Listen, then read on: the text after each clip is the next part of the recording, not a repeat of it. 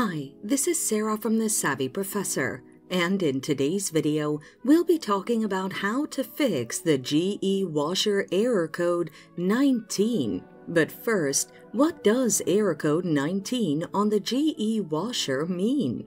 The error code 19 means that there's a problem with the water level management. The washer detects an overflow situation where the water level in the tub is too high.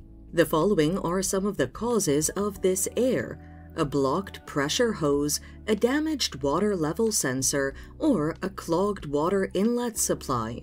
Now, let's look at the best solutions you can apply to fix the error.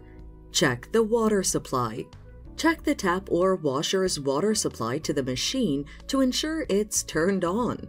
Inspect the pressure hose. Examine the pressure hose and replace it in case of any damage. Run water through the hose to clean out any blockages.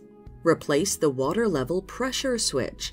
Inspect the switch to ensure there is no wear or destruction. Replace the switch in case of any damage to enable the washer to work efficiently. Reset the washer.